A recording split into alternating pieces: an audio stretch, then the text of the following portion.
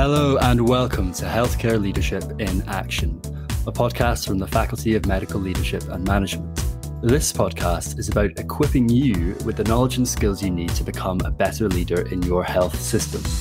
My name is Angus, and I'm FMLM's Head of Professional Services and Innovation. So join us as we discover what it takes to put healthcare leadership in action.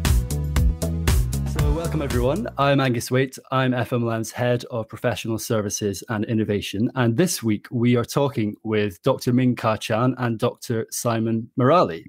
Dr. Chan is a pediatrician and co director of the Office of Leadership Education at Rady Faculty Health Sciences. She is responsible for facilitating leadership development for the five health colleges and is the lead for equity, diversity, inclusivity, and social justice, all at the University of Manitoba.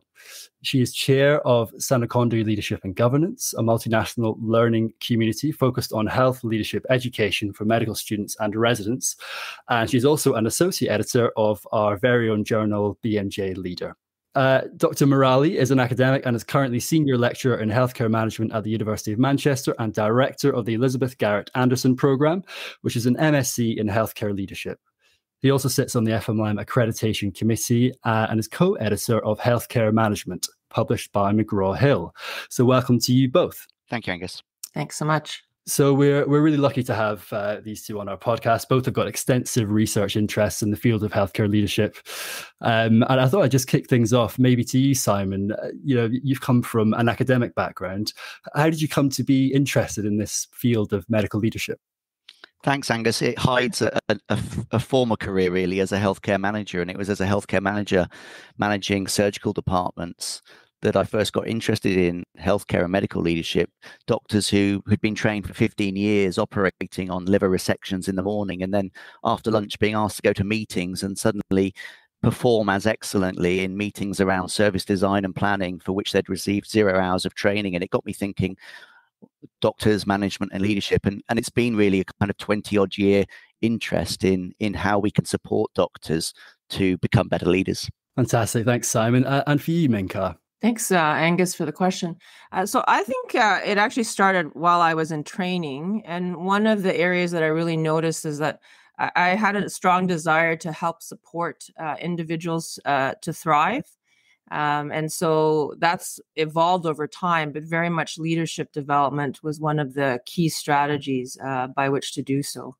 Uh, so very much uh, aligned with uh, what Simon was saying. You're you're based in Canada. Obviously, our audience are predominantly based in the UK. Could you outline for them what the medical leadership pathway looks like in Canada? Sure, Angus. Uh, so it's much less uh, formal than it is in the other parts of the world, like the UK or um, Australia. Um, so I think um, it's much more varied and uh, individualized, and in some ways less formal. Uh, so there are, and there are many options. So there are masters in uh, arts in leadership, for example, at Royal Roads University. Uh, other universities have a, uh, like the University of Toronto, has a, a master's of science in system leadership and innovation.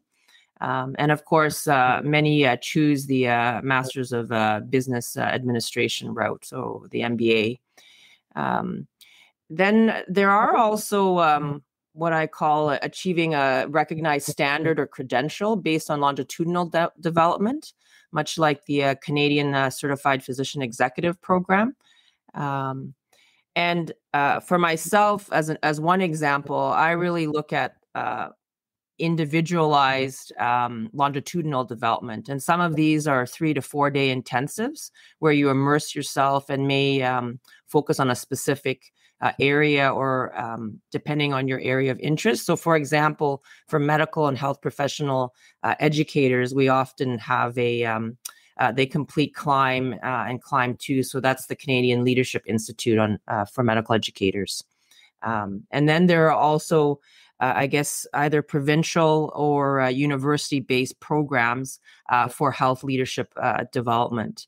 Uh, some of these may be for uh, general groups, and then others are more specific. So, for emerging leaders in academic medicine or specific identities like women in leadership.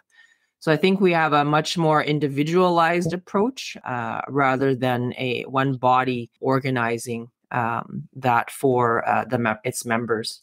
Interesting. And a lot of the evidence we hear about in the UK uh, in terms of the impact of medical leadership comes from America. And the perception we have here is that it seems much more common for doctors to become chief execs and so on of, of large hospitals. Uh, and, and, in the UK, that doesn't seem to happen so often. What's the situation in Canada? I think uh, there's a mix. Uh, I think that uh, mm. we we do see uh, physicians taking on a variety of um, health system roles, both on the clinical realm as well as the academic realm. Uh, so I think it really uh, varies. Certainly at my university, uh, there's a good mix, and I think it's about um, you know what we bring to the table, both experientially as well as our credentials, um, uh, to have um, you know to have the best person for the job. I hope that's the goal. Yeah, for sure. Uh, and it's interesting. I mean, Simon, um, you know, obviously you're based in the UK, and you know, it, it, does feel like medical leadership is something that clinicians view with a, reasonable degree of cynicism or skepticism. Do you think that's a fair statement? Um, and what can we what can we do about that? Thanks, Angus. I think it probably is actually because, first of all, do they or anyone really know what it is and, and how it's defined? And I always talk about is it leadership for? Is it leadership by or is it leadership of doctors? And it means different things. So if you can't define it, or if you define it only by position and status, then you can argue that doesn't appeal to the broad range of doctors.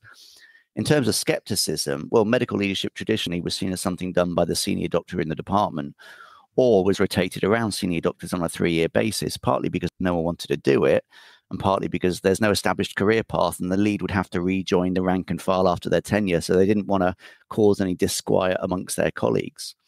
Thirdly, it was seen as a place where the not as good doctor went to keep them out of trouble rather than being somewhere that, like the rest of medicine, was a place for competitive selection. And therefore, it lacked appeal because it differed from traditional medical career progression, which is supremely competitive.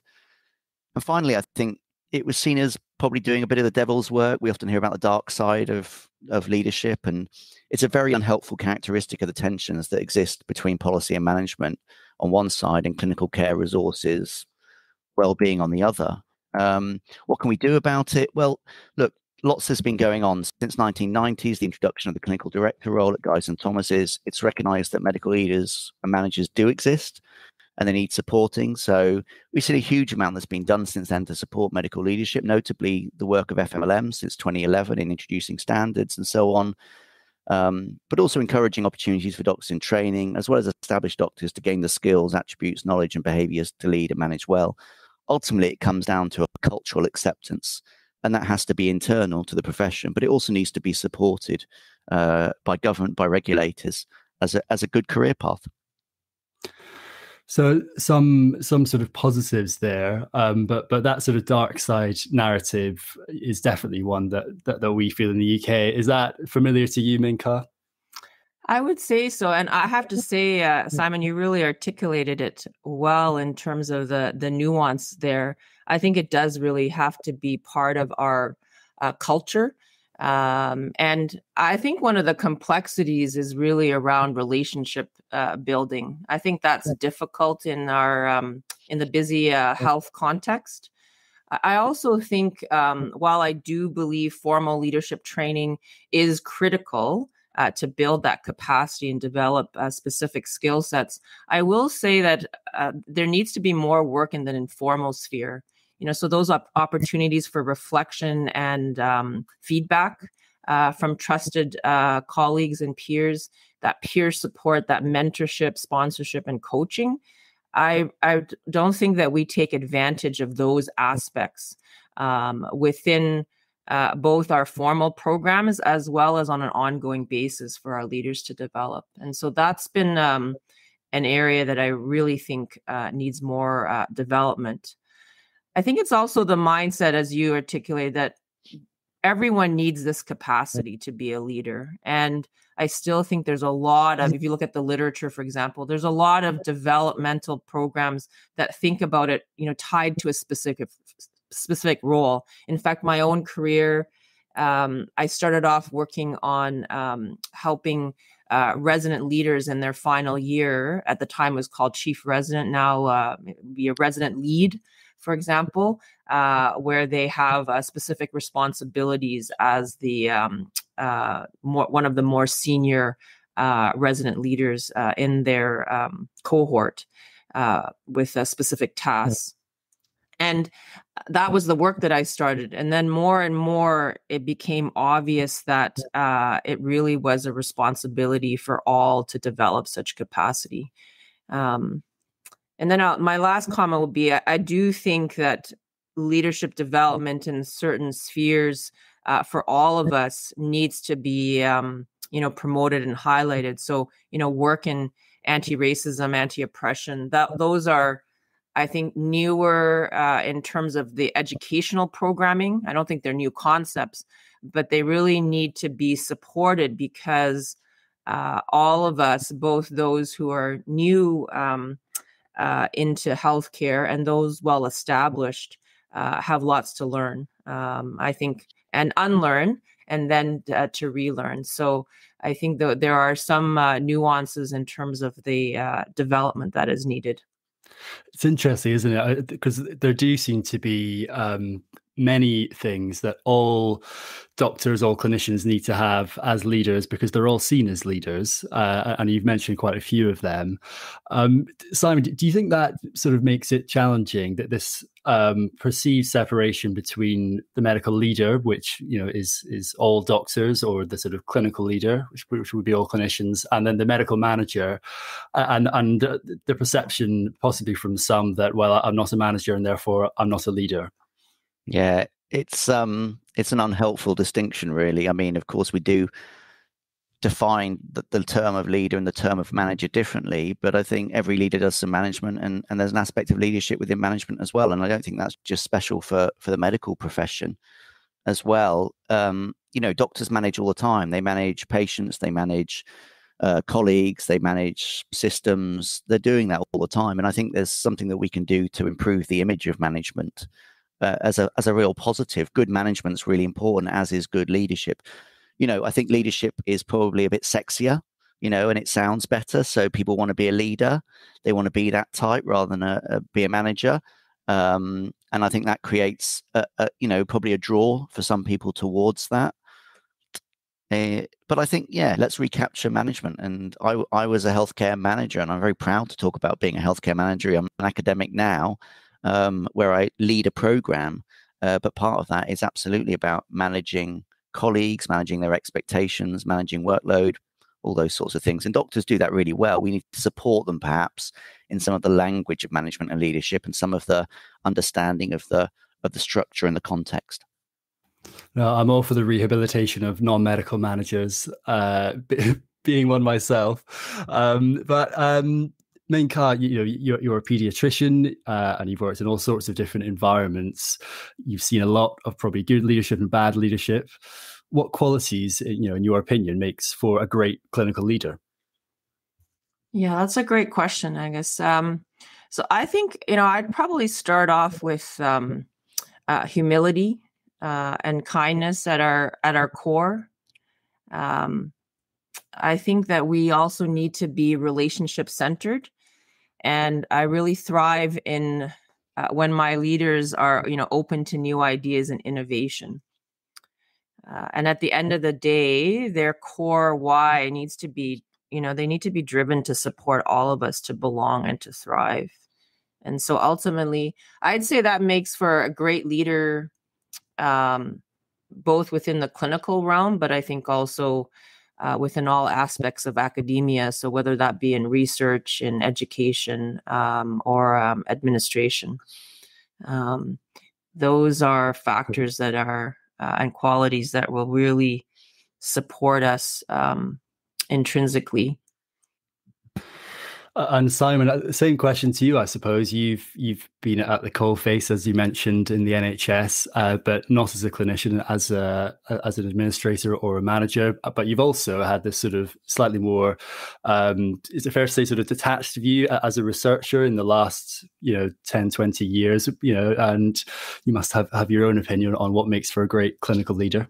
Yeah, and it, it changes. You know, I was a manager in the health service in the year 2000, the launch of the UK NHS plan under a Labour government, and we're now in 2023 and we've got a workforce plan. under a different government after a period of austerity. So the reason I say that is because I think it's maybe not static. It depends on the context. So the qualities that are, are needed perhaps do depend on the specialty, but also, um, you know, think about crisis leadership differing from long-term strategy and visioning. Do you need different skills? So not just qualities, but competencies. But in general, and in terms of qualities, you know, leadership literatures, as Ming Ka said, you know, will tell you that things like kindness are important. I'd say consistency of behavior is key. Mm-hmm. Compassionate mm-hmm. approaches where all colleagues are valued for what they bring, whatever their professional or occupational background, um, rather than denigrated or othered for the purposes of one-upmanship. You know, that makes a real difference. So everyone in the hospital, everyone in the community, everyone in the primary health center, you know, everyone's there for a reason. We're pushing towards improving patient care, improving population health. I think that's important. I think researchers you could add in into that as well. And some researchers work very, very much on the cusp of the um, clinical areas as well. Ultimately, healthcare is a team sport. Consistency and compassion, however, don't mean that you fail to hold others to account or you accept low standards. I think other qualities, be clear about expectations and how you as a leader will respond in a given situation. And next to that, it's important leaders behave ethically with integrity, they're open and transparent about decision making, even where it's contentious and even where there are constraints. Um, they should challenge poor behavior and they should always act in the wider interests of patients, carers, and colleagues. You mentioned, uh, you know, fear there in your answer, uh, and I'm interested. You led quite a big piece of research looking at the impact of the Care Quality Commission um, on on quality of care. Um, CQC are often proceed with um, quite a large dose of fear by medical managers, certainly in organizations, medical directors and, and chief execs. How can they, you know, work with them better, work with regulators better, um, and sort of, you know, I suppose understand their role and understand actually how they might benefit from um, from their um, impact. Well, I, let me first of all say it was work done by Alan Boyd, myself, and Jane Ferguson. So I don't want to take full credit for that. But you're absolutely right. I think there is a perception of fear, but we have to first understand there has to be an acceptance in the UK context that because of the way that healthcare is funded through the taxpayer, that politics and government involvement is necessary and important. Um, and, and secondly, with that, the regulation of the sector as for the profession through the General Medical Council is important, and no one would argue that it shouldn't exist. Um, I think the stakes are high, and that's why people do fear it, and there is trepidation with it. But I'd ask, where does that fear come from? And um, my guess is that it probably comes from a misunderstanding of CQC's role and cynicism of their motivations. Our project, which was 2018 to 2019, worked intensely with CQC and some of its inspectors from across health and care. And we tried to understand how they work with provider staff, how they use their assessment frameworks and guidance, and how they take their regulatory decisions. And it's underpinned by eight mechanisms which all play a part in supporting that safe delivery of care. And some of those change provider behaviors just by the fact that there is an inspection regime. So that's called anticipatory mechanisms. Some are relational, it's the influence of soft power. Some are about the information that CQC puts out there that's available for the local health community and everyone in it and some of it's systemic. Um, you know, it's about what are the wider issues of concern uh, that require um, C- CQC to intervene or CQC to have a role. So I think understanding the eight types of mechanisms, and that was research carried out again by the University of Manchester and a King's Fund team, um, would really help people. The inspectors we spoke to, none went into work on a given day thinking how they could take down a provider in fact, their, you know, our theory of change that we developed really focused on those relational and organizational impacts. So two-way engagement, information sharing and decision and discussion, um, identifying capability and opportunities, um, making sure feedback was relevant and proportionate as well, but all focused towards engaging positively. It's important, of course, that CQC at both a senior level and an inspector level get providers. They they provide the credibility so they understand what hospitals and other providers do. But government has a role as well in clarifying the frameworks within which CQC can operate. But finally, some of the responses or reactions, you may even call them resistance, come from a workforce really that's at the end of its tether. And I think that's why they fear it. That their their resilience is down. They're worn down by years of underinvestment in facilities, training, and colleagues. So I'd encourage medical leaders to engage actively with CQC. Um, psychology literatures tell us that most negative reactions to others come from fear, and that comes from ignorance. And let's be honest, we're all ignorant because of each of us will never know everything about anything. And so when CQC come around, it can feel like just another difficult thing on top of that higher acuity and demand, the fewer relative resources, and so on. So get on the front foot, work with CQC, share your world, let them share their world. I think that's the best way in which to approach the regulation regime. Well, our audience can't see this, but Ming-Ka, you were nodding along uh, furiously that answer. Does that ring a bell with you? No, very much so. And so I would say that that's a, a very similar uh, perception. And uh, I appreciate um, your outlining about some of the steps. I think we, in general, healthcare uh, needs to have more of a philosophy of um, of prevention and um, supporting uh, prevention, and that would include in this sphere. So that's very much aligned, and you know, it really echoes that importance of of relationships. You know, we need relationships with government. We need relationships with our regulatory bodies. Um, you know, or for that matter, any group or individual that's different, right? So that uh, to me is is very much aligned to the situation in Canada, at least in my experience. I, I will say also, I, I, love the approach of sort of that micro, meso, and um, macro in terms of you know where some of the solutions uh, could lie and where we could work together as leaders um, both individually as well as collectively right? So you know micro being at the individual level uh, what we each can do um, uh, meso being teams, and then um, macro being uh, our organizations and systems. And I think it needs to be that sort of multifaceted approach. Um, and that, in fact, when that's transparent and held to account, I think that also uh, reduces the uh, fear and uh, increases understanding. Um, that they know that as individuals, um, physicians aren't um, uh, you know, individually responsible for fixing all the problems. That it's a collective responsibility. So yeah, very interesting. And I suppose I, another sort of comparator between Canada and the UK, you know, the, uh, the, perception in the UK is often that London and the southeast of England dominate um, in, in, lots of different ways. You know, this sort of even out with healthcare, economically, socially, you name it. Uh, but certainly in terms of opportunities for leadership development in healthcare uh, and advancement, Canada has its own sort of geographic vagaries uh, with with some very large population centers, some very very rural uh, regional centers. What problem does that pose for for leadership development? Uh, and what have you learned in Canada that, that we might you know take advantage of in the UK? That's um it's it's uh, complex. So one thing that Canada has is a, a huge landmass. And so I think, like the UK, um, although not to the same degree, well, big cities, um, there's always going to be uh, well, certainly greater access to many things, uh, although I guess not to nature per se.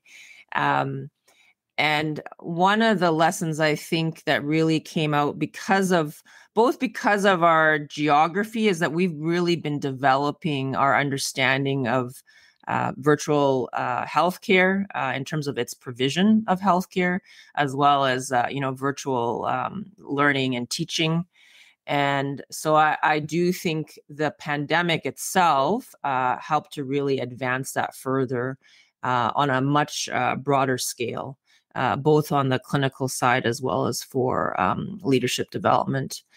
And so I think we really need to harness that, um, look at models like, you know, a hub and spoke model where you can have communities of practice or learning communities developing uh, at um, uh, any site, um, rural or urban. Uh, or remote in our our case in uh, in Canada, and then um, you know also uh, bringing them together um, uh, to uh, form more broader connections, and really taking advantage of the infrastructure that we now have more broadly to embrace hybrid or HyFlex um, I guess, leadership development delivery. Very interesting, uh, Simon. What are your what are your thoughts on all that? It, it's it's really interesting, isn't it? About uh, this split between rural and urban, or or the big centres and the smaller. And Angus, you you know, P- Professor Chris Whitty gave the Keough lecture, I think, just a couple of days ago, and talked about healthcare in rural areas as well, and and trying to attract people there. You'll always get development in areas where there's a mass of people. So the big cities will have it, London will have it in the UK, Manchester will have it, Glasgow, and so on. Um, but we have to think that actually there are different ways, and the pandemic has perhaps given us an opportunity because as much as we know that it's good to be in person, uh, there are ways in which we can access things online. We have to make sure the technology is out there, the skills are out there to do that. Um, and there's some really, really great studies, actually. Uh, I can think of a couple off the top of my head. Oscar Lyons did a study on medical leadership development. It was a synthesis of the literature that talked about what's really important is the ways in which people learn together. So communities of practice are really important. Um, Amy Grove at the University of Warwick has just done some work uh, on orthopedic um, trainees and surgeons around what's really important for their development, and it is something about some some social proximity um, but also a, a, blend because we've got to make sure it's accessible. We've also got to make sure it's not privileging people who have more time and more opportunity as well. So we can talk about the classic splits of cities versus rural areas, but we do need to think about um, accessibility more widely, making some of that in person because people do get something from that proximate socialization, but also making it accessible for people who perhaps can't travel as much and we have to think as well that we're a huge footprint healthcare. So, you know, bringing people together to do all their training together, environmentally, financially, there's a big cost to that. So let's let's take on the best bits of working online. We developed loads of skills thanks to the pandemic. We got much more used to that sort of stuff. And perhaps then we can work. Maybe there's a system where we can buddy up between some of the most advanced centers and the more rural areas. Um, but actually, you know, what's at the heart of that? The infrastructure. You need to make sure that there is both digital literacy but digital scope for those areas. Um, and we're we're on a much smaller footprint than Canada, but I think we face very similar problems. And I, and I suppose, Ming-Ka, that sort of inclusivity element is is is massive and perhaps if i could draw um, on your um, experience uh, well, on your sort of edi experience with your role at the university of manitoba that sort of accessibility whether it's geographic technological whatever is is mm-hmm. hugely important isn't it for the types of leaders that come through the system i think also that sense of um, belonging you know we talked about that it needs to be uh, you know ultimately the right person for for that job at the right time right? And and you want that context specific leadership is so critical. So I, I do think that uh, you know to simon's point around thinking about accessibility very broadly um, that's what our experience with with virtual um, uh, delivery is key. And that relationship building actually comes with then when you when you develop these um, site specific uh, communities of practice and then bring them together.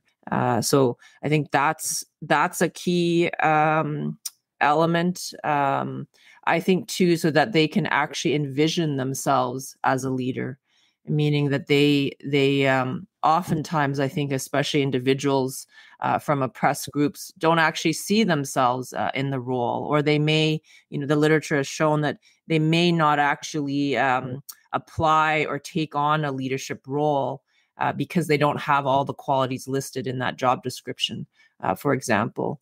And so I think really, um, uh, you know, to my earlier point about more, you know, mentorship and sponsorship of uh, individuals who have less access for all the different reasons that we've mentioned um, are really supported to do that work. And that can, and I think that's very individual what that support might look like. Might be financial, might be uh, time away. Um, oftentimes in more rural and remote communities, you might be the, um, you know, one of um, only a few um, providers. So when you leave, you leave more work for your colleagues, right? So how do we provide those opportunities and support them uh, to be able to take that time away to develop uh, their capacity uh, in different ways? I think is also, you know, one of those infrastructure questions that really has to be addressed. Well, thank you very much, both. We're nearing the end of our time. Um, final question uh, for you first, Simon. What's the kind of grand vision going forward? What are you know your top priorities for healthcare for healthcare leadership? I think there's probably three for me. One is as much as I see value in different prof- in each profession learning together um, as a kind of psychologically safe space. I'd like to see more interdisciplinary, multidisciplinary training. Professional tribes are really strong, and I think sometimes we know what to do, but we don't know how to be and how to work together. So, if people can learn together, I think that they can then work together in future. So that would be one for me. I think we really need to understand what's holding people back and making sure that we level the playing field as much as possible. Until we we talked about that earlier, didn't we? Things around digital inclusivity and other other things around accessibility, uh, making sure that people are supported because some are in a more privileged position. I recognise myself in that that are able to access opportunities more to learn and to develop. And there'll be many doctors like me who perhaps have a bit of a head start. So we definitely need to think about that.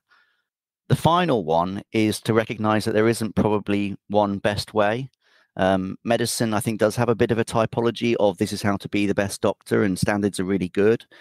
But leadership really is situational and contextual. So we have to leave room for people to develop differently. Yes, we do need standards. Yes, we have, you know, expectations about poor behaviors as well that we need to get rid of. But let's leave it open so that people can actually follow things that interest them and and lead in their own different way. Thank you, Simon. That was brilliant. And for you, Ming-Ka, your your top priorities.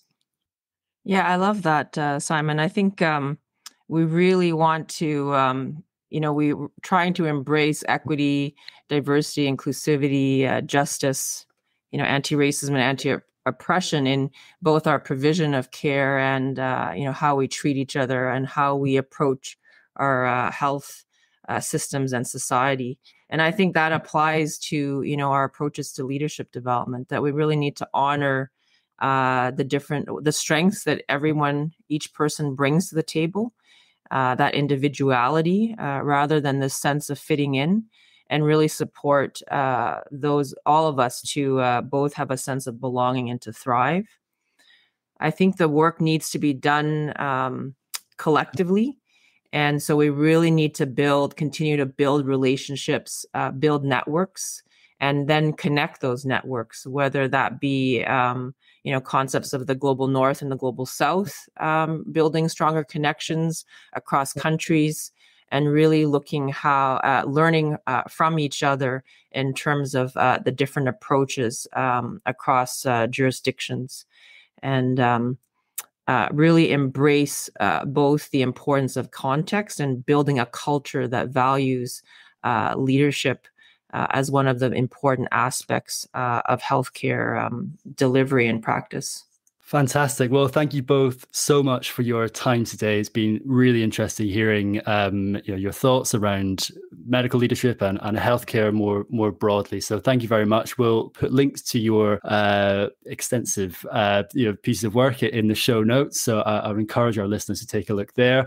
Uh, keep an eye out for the next edition of BMJ Leader, um, which uh, Dr. Chan is uh, is a, an associate editor, uh, and the next edition of Healthcare Management, co-edited by by, Simon Moralee. So thank you both so much, and uh, we'll see you on the next podcast.